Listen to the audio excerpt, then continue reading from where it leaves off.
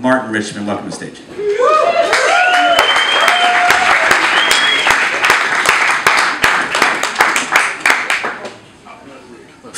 Does this work? Nope. Mine's dead. Uh, my first intermingling with cell phones, as I thought about it, was back in the mid 90s. And of course, it was work related because that's where it must come from. They make that leech. and then I thought, you know, I got my first cell phone right after Jerry Garcia died in 95. And I thought, okay, man, so there's this time in my life where I have a cell phone. And then everything before that, I was basically just a deadhead. I managed to right. catch. I managed to catch about 82 shows over 16 years. I think my first one was in Charlotte in 79 when I was in high school. My last one was in 95, right before Jerry died at RFK. I saw this great country from Orlando to Chicago, New York to San Francisco, the Deer Creeks and Baltimore's, and Roanoke and Hampton and Raleigh, remember that one? Charlotte, Atlanta, Oakland on New Year's Eve. And there were these three shows in Sacramento. So me and my buddy Joe, we fly out of Raleigh in the spring of 93. And we head to Sacramento and we're gonna go catch three shows.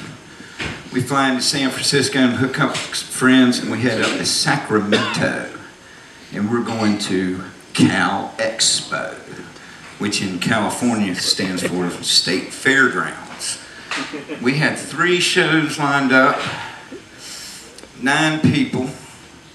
Cal Expo was completely empty except for deadheads, and there's like a hundred thousand deadheads out here. It's like a camporee, massive place, as big as it could be. Camping everywhere, people everywhere. It's a wonderful thing.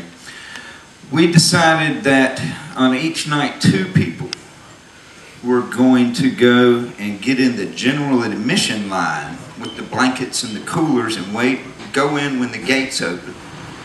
Set us up blankets and party spots and such and wait on all the friends to come in. So Joe and I decide we're going to do this on the second night. And we get in line and we wait and we're having a good time. We get inside. Everybody finds us. We have a great show. And then when it's over, we're walking out and we're hustling up through the crowds. And I turn around and I'm like, man, where's Joe? We lost Joe. So I get up with my friend Mary and I say, hey man, we gotta wait. We gotta find Joe. And she says, no, he'll just meet us at the car. And I said, no, you don't understand. We got out at the entrance to get in line. Joe don't know where the car is. And this place is massive. She goes, oh yeah, I didn't think about that. So Matt says, well look dude, if he gets lost and we can't find him, he can just get a cab back to the condo. And I said, dude, we're in fucking San Francisco, Sacramento. All I know is it's yellow, it's got a pool, and it's near a freeway. He don't know where we're staying, man. He has no idea where we're parked. And all of a sudden we're looking at each other, and I said, man, we gotta find Joe. And we got a problem.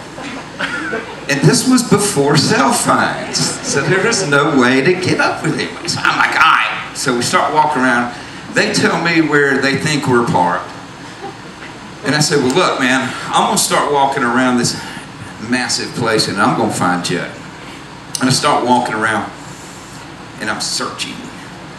And everywhere, I'm, uh, as I'm going through, and I'm at this, this massive parking lot and I'm looking and I'm looking at everybody. Is there uh, I'm just looking for Joe. And then after a while, I realized that everybody thinks I'm a cop. I'm like, okay, man, that's kind of fun, so I'm gonna have some fun with it. And I start just walking up to people going, hey, have you seen Joe? And they kind of go, Joe who? And I go, Joe, my buddy. No, what's he look like? Hey, he's got brown hair and he's wearing a Grateful Dead t-shirt. of course, everybody kind of looks like this. But then one thing I noticed, the most I got, everywhere I went, and I said, hey, excuse me, in my southern drawl, have you seen my buddy Joe?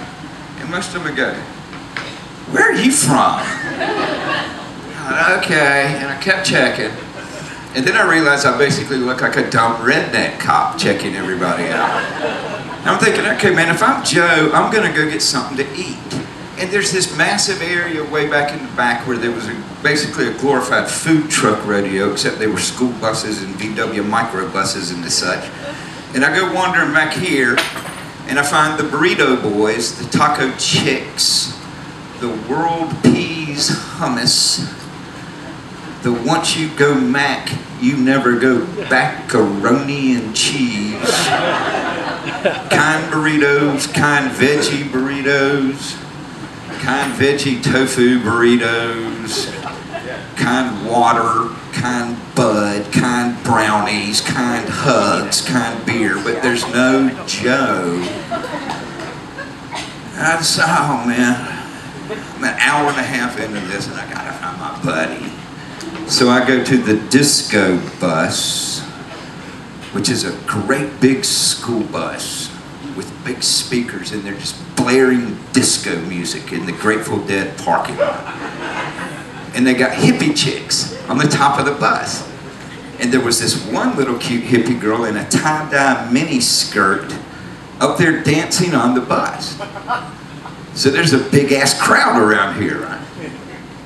And I'm kind of looking around and I realize, okay, I'm not going to find Joe in here because there's like a thousand deadheads here. An hour ago, we were all grooving and shaking our bones, and now we're all out here getting down to KC and the Sunshine Band. So I head on. I'm like, well, let me see if I can find the parking spot. So I wander for what seems like about another hour, and I actually find the parking spot where we're at. And there's all my friends but there's no Joe. And they seem to, I think, have forgotten that, you know, we're looking for Joe, man. We got to find Joe because he's lost. And I wander on a little bit. I'm heading to the South 40, as I called it. And I'm starting to think, man, maybe if we just wait, we could be the last car in the parking lot. And then he'll find us. But this shit ain't going to end till Friday. and then I actually started thinking about, well, I'll have two seats on the flight back to Raleigh. As I'm wandering around looking more and I'm asking and I'm doing my thing, and then I come to the sexy grilled cheese bus, big blue school bus. They made it to every show. Big blue school bus with a banner, sexy grilled cheese, $2, which is a pretty damn good price. And you get a pickle so I'm standing here and I'm kind of bummed, but I'm also the dead show, so I'm not that bummed. I'm eating my grilled cheese, I'm hanging out, and I'm watching all these people just going back and forth. Thinking, man, I know he's here somewhere. And I'm to find him somewhere. And I finish up my grilled cheese and I turn around and I look at these two guys working there and I said, hey, by the way, you see my friend Joe?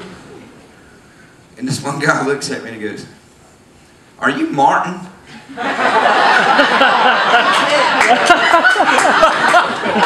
I said, I am. And I'm looking for my friend Joe. He said, he's on a mountain bike down there riding around looking for you. And I went, ah, cool. He said, he talks like you. All right. So I go wandering down. I run into Super Dave another friend of mine, we called him Super Dave because he looked just like Super Dave. If you remember him, which was way before cell phones. And I'm, talking to him, lo and behold, here comes Joe riding up on a mountain bike, eating a burrito.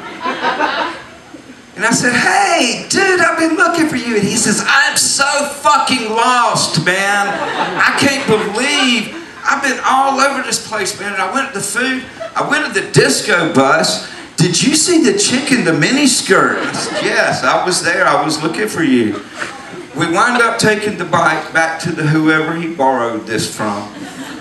We stopped by the disco bus on the way back to our parking. We hooked back up with our friends, and that's what life was like before you had cell phones.